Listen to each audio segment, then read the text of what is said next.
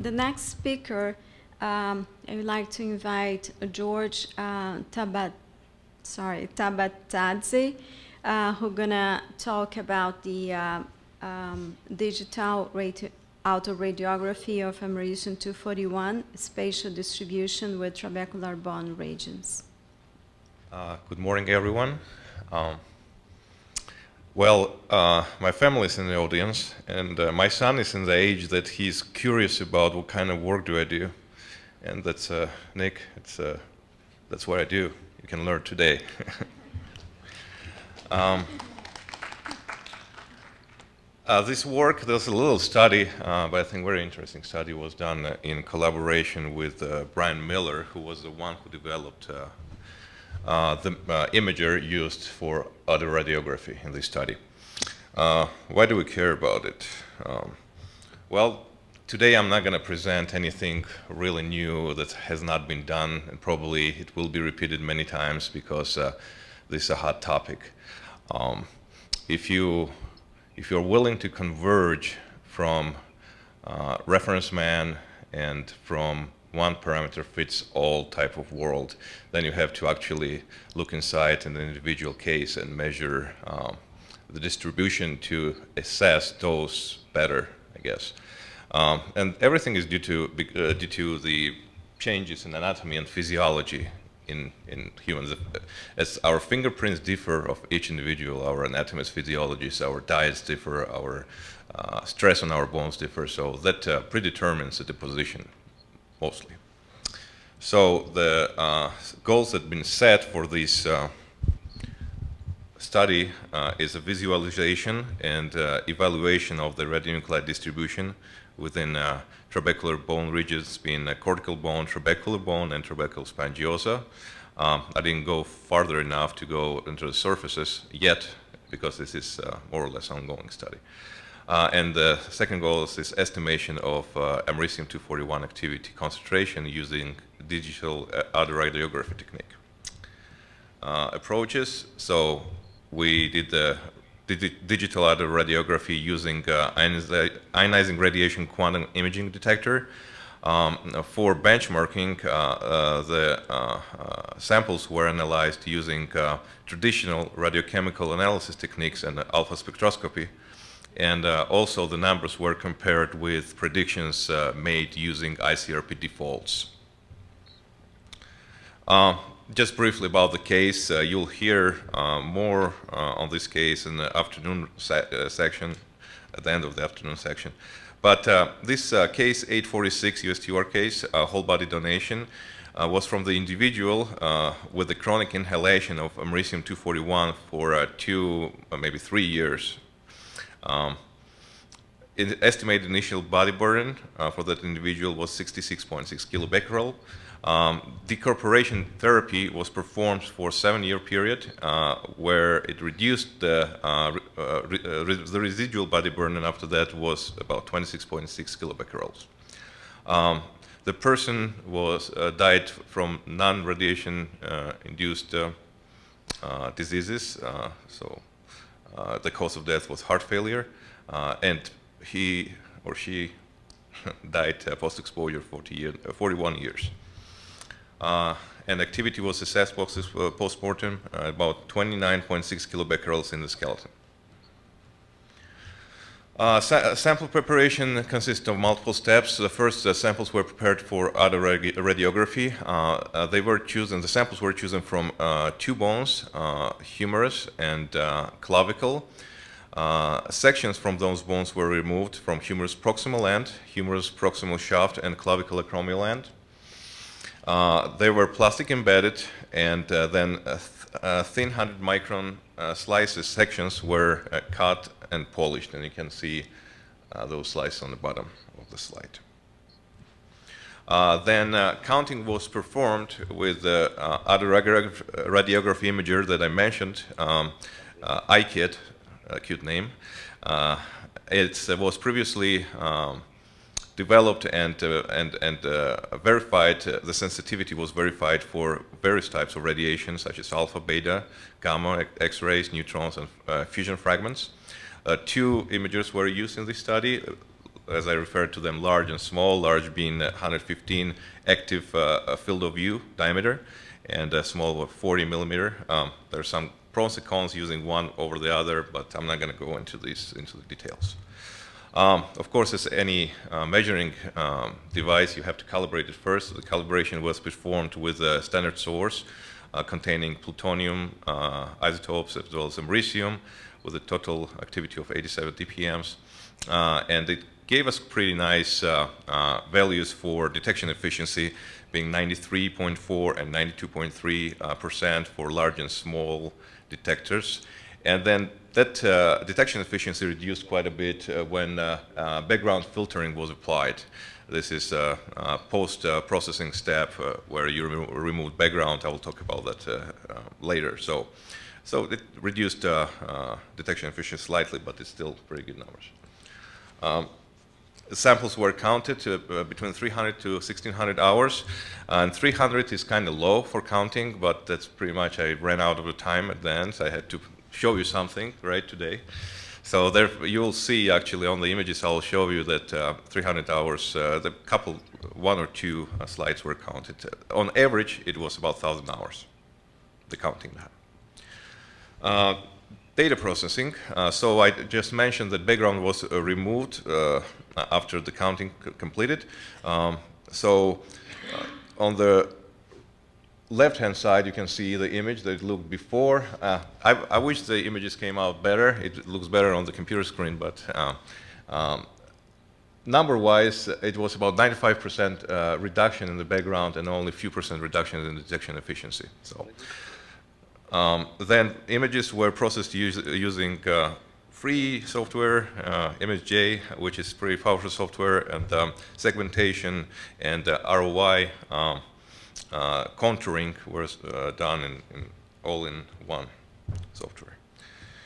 Um, also samples adjacent or, or, or, bone samples adjacent to the ones used for, for other radio radiography were um, uh, digested and analyzed using AlphaSpec.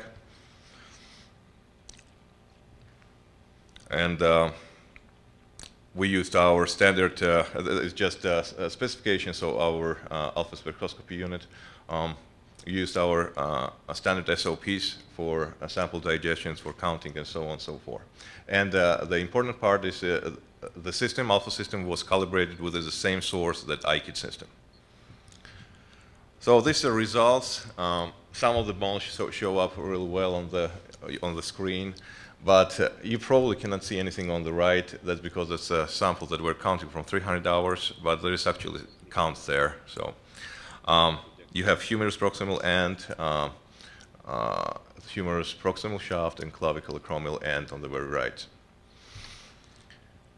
Uh, you can see really nice distribution on the very top left corner uh, within the trabecular bone regions. If you, uh, I wish I could zoom in the picture farther. So um, it shows uh, nicely uh, images, especially it's nice when it's overlapped, two images. The actual images of the slides overlapped with the bones. So surface activity was measured. average surface activity was measured based on ROI analysis. So you have on the right side, uh, you have the actual iQID image. Then we overlap that based on the anatomical findings on the actual slide itself and calculate what's the average uh, surface activities in the units of millibecquerels per millimeter square. They're all tabulated here. And then maximum activity also was acquired based on uh, a binning method.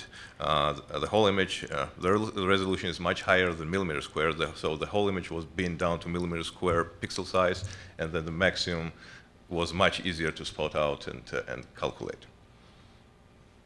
Uh, this is uh, results for activity concentration in humerus.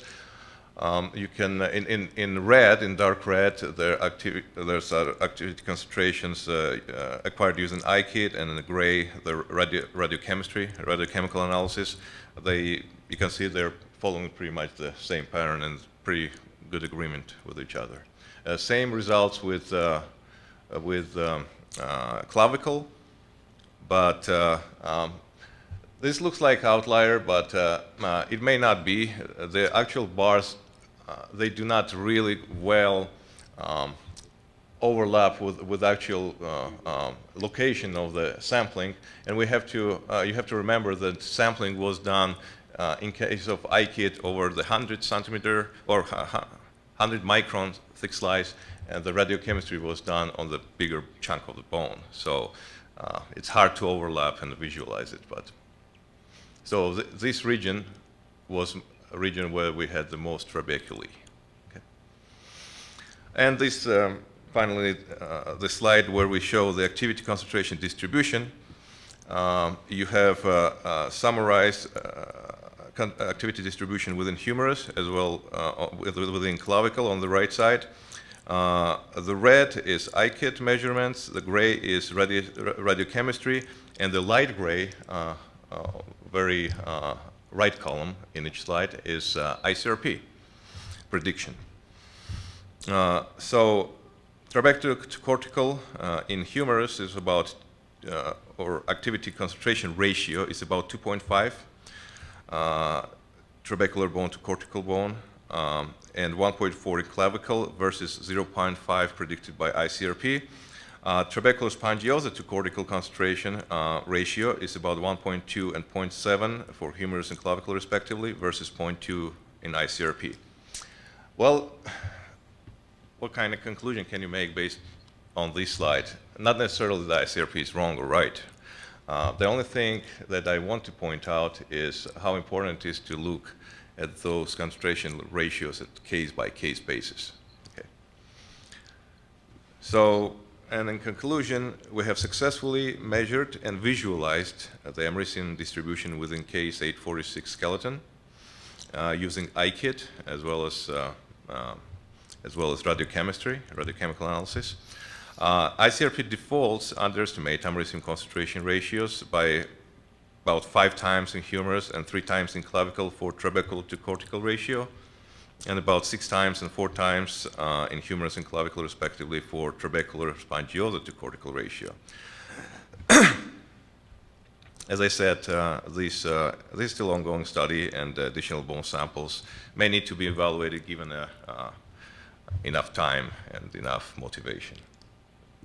And thank you very much. I will take questions.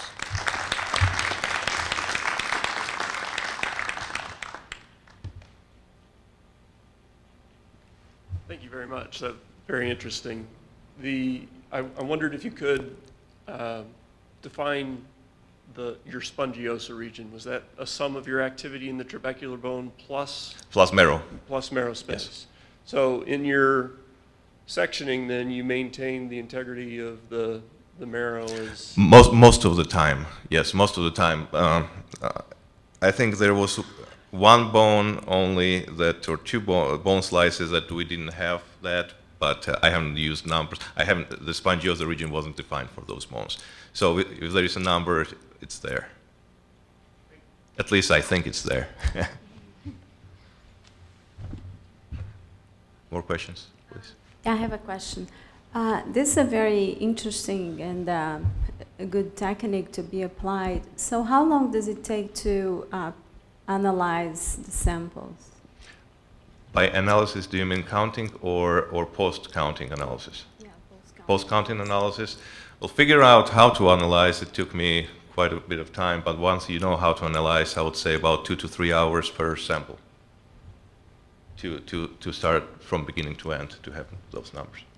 And the total analysis, um, how long does it Uh, the counting time, as I said, on average, uh, to, to get a good, uh, it all depends what kind of uncertainty you're willing to, uh, you know, deal with. Uh, I would say to get a, to get macro scale picture, it's probably about thousand hours. If you want to go to the micro scale and actually go into the uh, trabecular cortical bone surfaces, you will need more counts within those regions. So I would say about, well, longer time.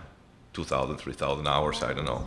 Good thing is, good thing about the, uh, this is that you can, uh, unlike uh, um, conventional autoradiography, you can stop counting at any time, look at the picture, analyze it. If you like it, what do you see, you stop eventually and you know, proceed with other samples. If you don't like it, you can continue counting. So it's a real-time ra- autoradiography using the kit. Very impressive.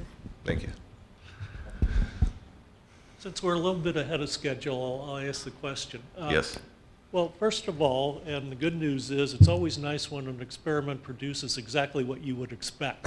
Because this case had like 60 years of bone remodeling post-intake, so you'd expect a pretty good 41 years, but yeah. distribution. But the, uh, uh, just a question on your ICRP values. Did you take those from the initial distribution and then run the biokinetic model out for the 40 years? Or is it? This is based on distribution? uh, IMBA calculation. Okay, good. Okay. Yes, cool. and, and, and the default ICRP parameters of, uh, you know, ev- every parameter was default. We didn't play with parameters. Mhm.